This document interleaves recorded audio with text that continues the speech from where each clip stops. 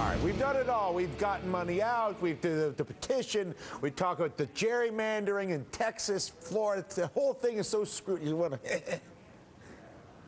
But all those things require legislation. You got to pass a law. We got to fill the movement. We got to get the thing with the legislation. We can't do it. They got to get us the back of the thing. There is one thing, however, that we can all do right now, this year, 2012, no law changes, no nothing, to massively enhance our connection with those who represent us. It's a group of folks that represent people who advocate participating in primary elections. Isn't that weird? Nobody does that. I haven't been a primary in years. Crazy. But apparently, if we participate in the primaries, it will be a massive benefit to us. In fact, only 8 to 12 percent of those who are voting age right now, which means 9 out of 10 of us are like me, we never, ever, ever vote in a primary. And our next guests are taking on this as what they see as the number one immediately fixable dysfunction in America's democracy. Mark Meckler, formerly with the Tea Party Patriots, now working with Leo Linbeck in the Campaign for Primary Accountability. Their goal, as they say it, to reconnect voters with the people that they vote for. So you're saying I've got to vote in the primaries, Leo? Yeah, I'm sorry, Dylan. If you want your voice to be heard, you got to vote in the primary. Why? That's where the decision is made. What do you mean? 85% of congressional districts in the U.S. House are either Republican or Democratic districts. Meaning from the gerrymandering or there's natural occurrence of Natural- San Francisco or whatever it It's is. just the way it is. And you know, you could try to change that, but you're not going to change in 2012. Right. So in those 85% of the districts, the decision is not made in November. The decision is made in the primary election. And so if you want your voice to be heard, if you want to be represented. But the candidates stink, you know. I mean, it's one of those things, Mark. Come on, you're gonna make me go to the primary. It's a bunch of yeehaws, and the, the party decides anyway. Well, think about it. So if 85% of the districts are fixed, that means only 15% of us even have a vote that matters in the general election. If you want to play in the game, the game's decided in the primaries. And in the primaries, nobody's playing right now. What's going on in the country in 2010, a major change year, right? 300 I think it was the biggest wave election. I Okay. mean, there was this was it, baby. So 396 stood in the primaries for re-election, right? Out of 300 396 incumbents. incumbents stood for re-election. Out of that, only four lost their primaries. Only four. And, and it's worse than that. In the previous four cycles, a total number of 12 lost, so three per year. Over that same time period, 13 died in office.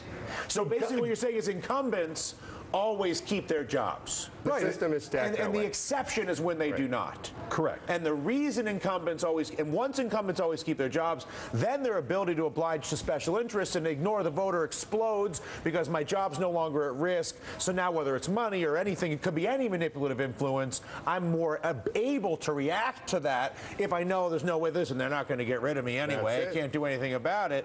And so now, explain to me again why my voting or anybody else voting in a primary in some way diminishes that. Well, the more people that vote, think about it. Your vote has like a five times value compared to the general election because so few people are voting. So if you get a, a small group of people to come out, I mean, you can literally, with 10,000 votes, influence a primary election and get a candidate that actually represents you. And that's what this is about. It's not Republican, it's not Democrat, it's not liberal or conservative. This is about getting people who actually represent the people in their district. That's what we care about. And right now, the most partisan people are showing up and voting in the primaries, right? If you think of the American po- political world as sort of being this distribution, it's the tails of the distribution that are showing up to vote in the primaries. So, in the general, if you have a choice, they're polarized choices. If you want to get rid of that, show up, and if everyone voted in the primary, then the outcomes would look much less polarized. At the same time, you could understand why there are people like me, and I represent 90% of America, which view the primary as a uh, uh, as something that is either not for me, for whatever the reason is. I'm not informed enough. I'm not part of one of those parties. I, in other words, what? Yeah. They- they- how do you get people like me out of our chairs into the primary Well, because voting look, you should be outraged. This is exactly how the politicians want you to feel. They don't like the primaries. What incumbent wants to have to come before his constituents and defend his record? They mostly have abysmal records. They don't want you to know about their record. They don't want a challenger who actually comes out, puts ads on about their record. That's what Campaign for Primary Accountability does. Get out there, level the playing field, put ads out that say this is what the incumbent's record really is. Look, if people want to reelect them and they know the record, then more power to them. That person should be representing that district. Why, when uh, uh, Leo, when you look at any system of making decisions, whether it's a corporate board, whether it's a political environment, whether it's a community environment, whatever the governance might be, why does the quality of the decisions that any group make makes get worse in, a culture like the one we have? In other words, uh, why is why is this so central to repairing the culture? Look, the, the, the supreme act of political power is the definition of the alternatives.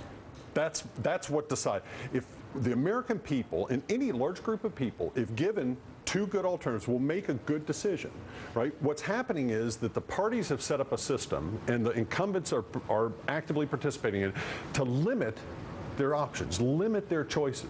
62% of House members, House incumbents in 2010 ran unopposed in the primaries. So There was- two out of three have no test at a preliminary level. That's right. And So- then they're guaranteed the job after that. Right. Because I don't want to vote in the primary. It's my fault. Right. So Along it's- with the other 90% of the And people. remember not- that leadership in Congress is about long-term incumbency. Right. The longer you've been there, the more All the- leadership all the you have. power. So, so these are the worst people that are, their ideas are never tested. They never have to run against an opponent, and these are the ones who end up Right. being the leaders in Congress. Very quickly, what is the campaign? What are you doing this year? What are you guys doing? Right. So we're taking on entrenched incumbents, long-term incumbents in safe districts, not working to transfer power between an irresponsible Republican Party and an irresponsible Democratic Party.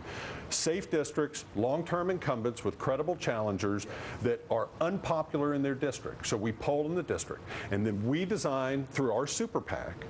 I know it's a nasty word, but It's a we have a, it's, a, PAC. it's a citizen listen, super it is, PAC. it's, it's a, it's a, it's, yes. It's a on. vehicle. It's a we go in and we basically level the playing field, and we run advertising and radio and t- TV, and Yeah. and if people want to learn more about it, where do I send them? Campaigns for, that's the numeral four, primary accountability. Campaigns for primary bi- With an S? accountability. Campaign No, for? campaign for- Campaign for. The numeral for. Primary- Primary accountability. accountability. We'll put Dot it up org. on all the stuff. Great. Um, dot org is Dot org. All right. Listen, uh, how do I find out how to vote in a primary? Ballotpedia. If you go to ballot, Ballotpedia. ballotpedia.org and put your state in, Wow. you'll find it. I didn't It's even no know problem. about that. Ballot- Great resource. The internet, huh? yeah, it's, Amazing. a- It's you know, crazy. I wonder who invented that. the network. I don't know. Yeah, it's crazy. Um, congratulations. They have my wholehearted support, and I will vote in the primary. Great. Thanks, Dylan. All right.